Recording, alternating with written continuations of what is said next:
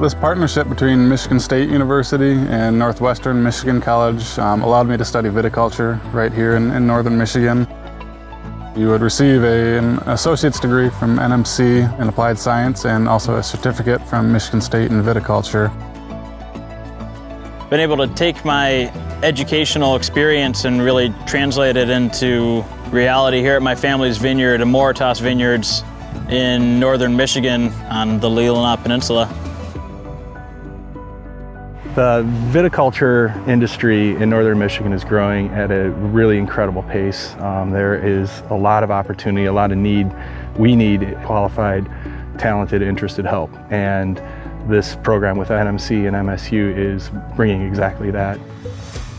The thing that I love about this industry and this profession is it's always changing. There's always something different to do. Probably the best part is being outside every day, the viticulture classes gave me a great step in the door.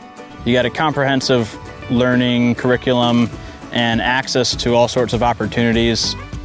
For the program, you were required a one semester internship and I chose to do mine in Washington State, working on a vineyard. It was about 2,000 acres. It was a great learning experience.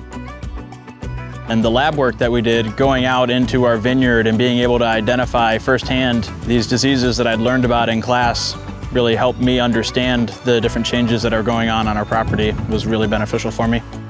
So graduates of the viticulture program are bringing a new dynamic to the wine industry. It's just been an incredible opportunity for us to continue to grow with a knowledgeable uh, work staff that comes in with a lot of interest and a lot of ability. People are looking for young, ambitious people to, to really want to learn this and, and have it be a career. And what better of a place to do it than Traverse City and Leelanau County? It doesn't, doesn't really get any better than this.